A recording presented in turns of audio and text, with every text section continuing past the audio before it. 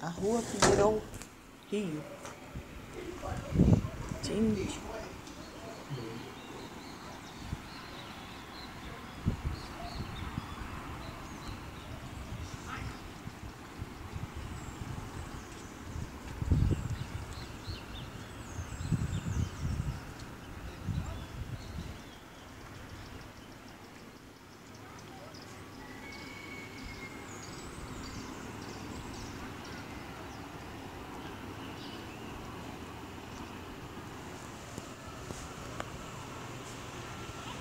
Não dá nem pra ver onde que a água foi parar.